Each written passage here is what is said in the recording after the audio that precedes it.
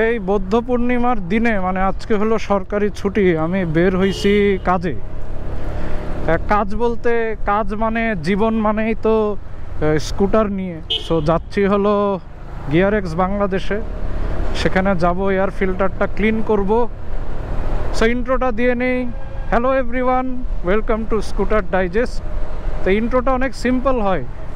তো, আমি শুরুতে একটা কথা যোগ করতাম যে হ্যালো স্কুটার শিশুরা ওয়েলকাম টু স্কুটার ডাইজেস্ট কারণ আমরা যারা স্কুটার চালাই আমরা সবাই কিন্তু শিশু আমাদের মনটা শিশু তাই আমরাও শিশু অন্য কিছু না যাই হোক যেখান থেকে শুরু সেখানেই শেষ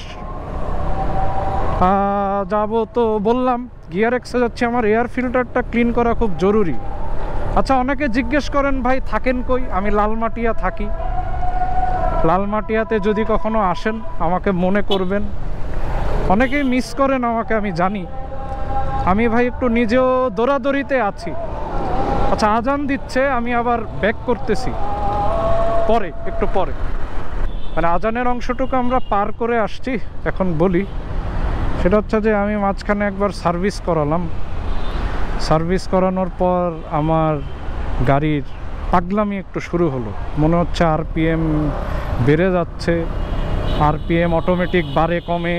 কেমন জানি গাড়িতে একটা ভ্যাকুয়াম আছে। ভ্যাকুয়াম মানে আমি থ্রোটল দিচ্ছি, কিন্তু রাইট জায়গায় জোর পাচ্ছে না। এখন আসলে প্রবলেম কি কারণে এটা বোঝা মুশকিল। এয়ার ফিল্টারে একটু ময়লা আছে, ময়লাটা পরিষ্কার করে আনি। বেশি না, পঁয়ত্রিশশো কিলো মতো চালাইছি এয়ার ফিল্টার অলরেডি প্রায় জ্যাম জ্যাম হয়ে গেছে ক্লিন হয়ে গেছে। তো অনেকে বলতে পারেন যে, ভাই বিএমসি নিয়েও তো জ্যাম হচ্ছে, তো বিএমসি নিয়ে লাভ কি? ভাই এয়ার ফিল্টার তো ময়লা হবেই। কিন্তু এয়ার ফিল্টারটা ক্লিন করলে আবার নতুন করে ইউজ করা যায়।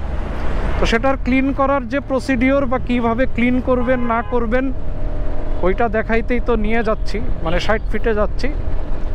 সো একটু ক্লিন করায় আনি, গাড়ির কিছু টিউনিং বাকি আছে। তারপরও এ গাড়ির টান বা কোনো কিছু কম মনে হচ্ছে না। It's there KPV is alive আমার প্রায় ছয় হাজার সাতশো তিরাশি ওডোতে আমি দেখতে পাচ্ছি। গাড়ি পুরা ফ্রি হয়ে গেছে। আর আমাকে সঙ্গ দিচ্ছে এস এ মাহমুদ ভাই। ওই যে লুকিং গ্লাসে দেখা যাচ্ছে উনি। এই লুকিং গ্লাসটা কিনলো আমার কাছ থেকে।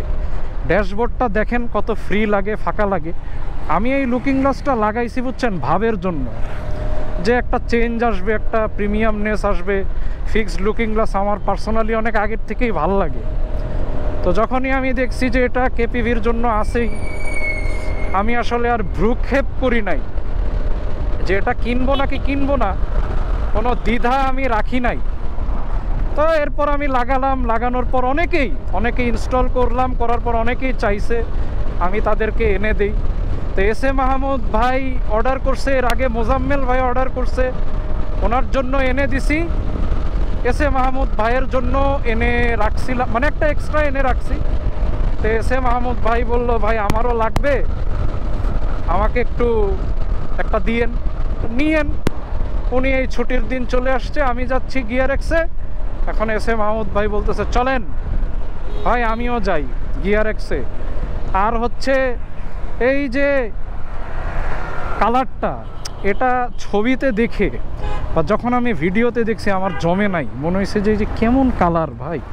বামে ভাই, বামে। ক্যাটক্যাটা কালার, কেমন একটা কালার হ্যাঁ কিন্তু রাস্তায় যখন এই কালার চলে ভাই দিস লুক সামথিং এইটা দেখায় করকরা করকরা করকরা। যাক, আমরা গিয়ার এক্সে যাই, বাকিটা ওখানে দেখাই দিব স্টে টিউন একজন ভ্লগারের সবচেয়ে বড় দুঃখ হচ্ছে, যখন আপনি ভ্লগ করতে বেরোবেন, ধরেন খুব প্ল্যান নিয়ে, খুব মনে খুশি নিয়ে বের হন, বের হওয়ার পর দেখেন যে ব্যাটারিটা আপনি চার্জ দেন নাই। কেন? আলসামির কারণে। স্বাভাবিক আমরা অলস অলস থাকতেই পছন্দ করি। এই কারণে ব্যাকআপ একটা ব্যাটারি আছে, কিন্তু যে ব্যাটারিটা দিয়ে বেশি কাজ করি, ওই ব্যাটারিতে যখন চার্জ না থাকে, তখন অনেক দুঃখ হয়। কষ্ট হয়। যাক, দুঃখের কথা শেয়ার করলাম। দুঃখের পরেই আসে সুখ, সুখের পর আবার আসে দুঃখ। এখন সুখের সংবাদ হচ্ছে যে আমার বিএমসি ফিল্টার নিয়ে আসি দাম এই বিএমসি ফিল্টারের যে অবস্থা, এই যে মনে করেন ময়লায় ভরা, এই দিকটা দেখেন আর এই দিকটা দেখেন। সেটা এখন ক্লিন করাইতে হবে। প্রচুর ধুলাবালু ময়লা বিএমসি টানে, আর এটা হচ্ছে welcome coffee DRX Bangladesh welcome treat so এটা ক্লিন করাটা দেখানো দরকার, খুব জরুরি। আর আমার সাথে এসে মাহমুদ ভাই আছে। আমরা কাজ টাজ করি, আর কফিটা খাই।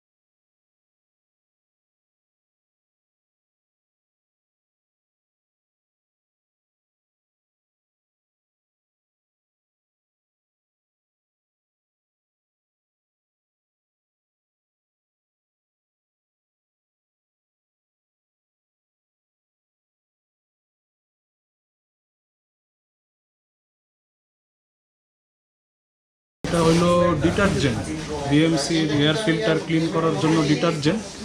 এটা দিয়ে মোটামুটি পঁয়তাল্লিশ মিনিট, এক ঘণ্টা শুকাতে দিতে হয়। রোদে দিয়ে শুকাতে পারেন, ফ্যানের বাতাসেও শুকাতে পারেন। তারপর হচ্ছে এই লিউকটা দিয়ে দিতে হয়। এই লিউকটা এখনও দেওয়া হয়নি। যখন দিবে, তখন আপনাদের দেখাবো। এই দুইটা মিলায় একটা ক্লিনিং কিট বিএমসির এটা কিনতেও পাওয়া যায়।